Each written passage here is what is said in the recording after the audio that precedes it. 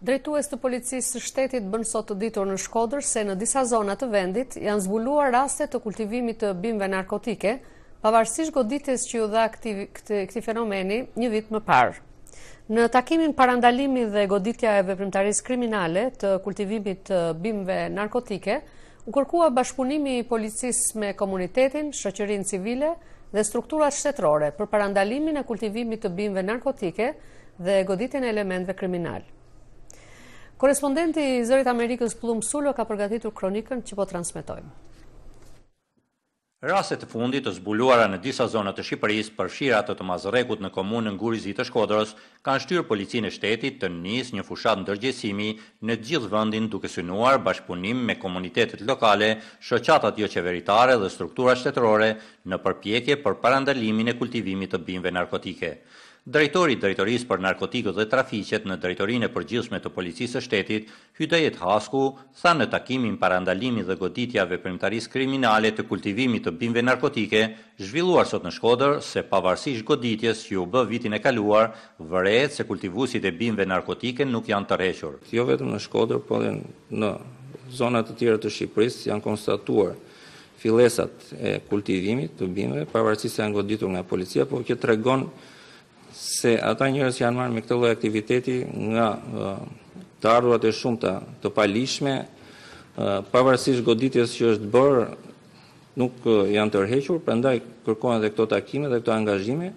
që ne seriozitetin e punës sonë që kemi nisur ta ruajmë dhe ta forcojmë më tej angazhimin që mos ta lejojmë përsëritjen e këtij fenomeni. Zoti Hasku shprehu vendosmërinë e Policisë së Shtetit për të luftuar çdo rast të kultivimit të bimëve narkotike dhe për të vënë përpara ligjit cilindo që ushtron këtë veprimtari kriminale. Sipas të dhënave zyrtare të publikuara edhe në takimin e sotëm, gjatë vitit të kaluar qarku i Shkodrës u rendit në vendin e parë në shkallë vendi pasi këtu u zbuluan dhe asgjesuan rreth dyzet e dy përqind e gjithë sasisë së bimëve narkotike që Policia asgjesoi në të gjithë territorin e Shqipërisë. Por megjithëse në qarkun e Shkodrës u kryen njëqind e tetëmbëdhjetë operacione policore, përfshirë edhe operacionin Dukagjini, vetëm njëmbëdhjetë persona u arrestuan për kultivim të bimëve narkotike, çka sipas prokurorit të Shkodrës, Besnik Cani, është një tregues që nuk shkurajon kultivuesit e narkotikëve. Pa një ndëshkim të atyre autorëve ose grup autorëve të cilët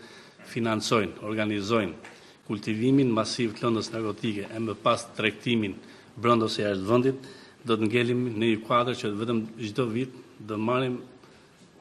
operacione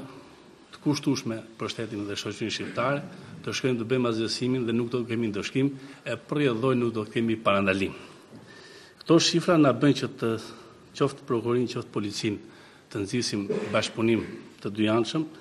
me qëllim vazhdimin e hetimeve proaktive.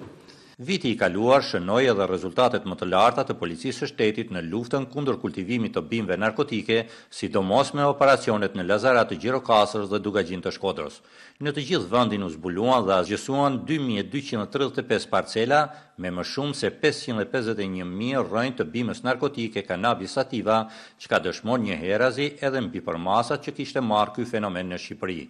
Për Zërin e Amerikës nga Shkodra Pëllumb Sulo.